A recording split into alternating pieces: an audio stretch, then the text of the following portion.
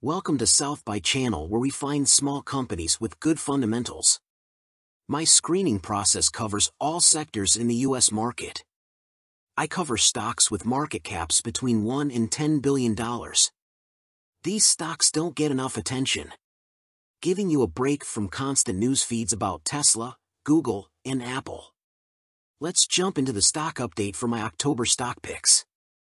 Month to date the stocks are performing well with 80% of the stocks being up in October. Lagging the IWM by only 1.5% but beating the SPY by nearly 3%. Generally, my horizon is 6 months to a year. I would sell stocks once they have reached 30 to 50% gains in that period. All these companies have very decent fundamentals.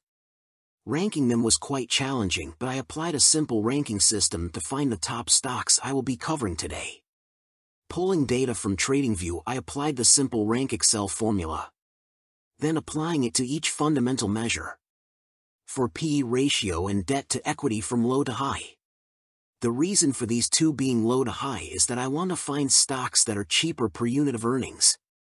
For the debt to equity ratio, I am trying to see which companies have healthier balance sheets. The remaining measures are net margin percentage, dividend forward yield, and free cash flow growth percentage. For these three measures, it is a good sign if the values are high. Each company then gets a rank. Then we add the values and the company with the lowest score is my top three. Let's have a look at the performance of RLI, Sky and Safe. For quick stock analysis, I use Simply Wall Street. The platform provides you with a snowflake that assesses key performance measures for each company. Performance measures are valuation versus share price, dividend payouts, financial health, and future and past growth in earnings. RLI is an insurance company that does business in the property and casualty sector. It has been a tough period for companies in this sector considering the impact of climate change and the frequency of natural disasters. With a PE ratio of about 10, they compare favorably to peers and the broader industry. The risks shown are they do not pay dividends consistently. As well as analysts believe RLI will have a reduction in profits of 48% over the next three years. Even though profits grew 100% over the last year. The market has been happy with their performance and the share price has grown by 20% in October. Safehold is innovating in the real estate industry buying, owning, managing, and capitalizing ground leases. Another company that has been hit hard in the real estate industry. The snowflake is showing that this company is expected to perform well according to analysts. Discount to valuations is further confirming analysts' earnings growth expectations. With a PE ratio of 20, they compare well against both the industry and their peers they are also trading 37% below their baseline fair value. Expectations of analysts are quite high for this stock, but it seems that they have performed well so far.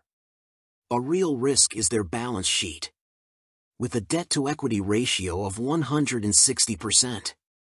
Investments in their innovative business model might be the reason for such high debt levels being in a high interest rate environment also means it makes it more difficult for SAFE to cover its interest payments. A very high risk investment but could return more than the market if they continue to grow earnings. Skyline Champion is a company in the housing market producing and selling factory built housing. The real estate industry is struggling due to increased interest rates. This does not mean that all companies in the real estate industry are affected equally. Looking at their snowflake they have particularly good financial health and past performance. This results in a discount to valuation. With a PE ratio of approximately 10, they compare well to the industry. Also showing a 29% discount to how simply Wall Street values companies.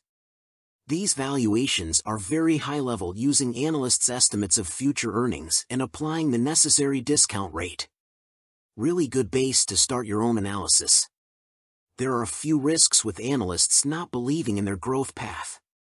Also, the fact that Sky earnings have a lot of non-cash earnings. About share price, it has been range-bound and can be setting up to break out over the next year. They have also outperformed the broader market in the last year and in the short term. with decent margins and an incredibly low debt-to-equity ratio. Sky is very well set up for the next few years. A stock to keep on your watch list. Keep these stocks on your watch list over the coming quarters as they might produce some good financial performances.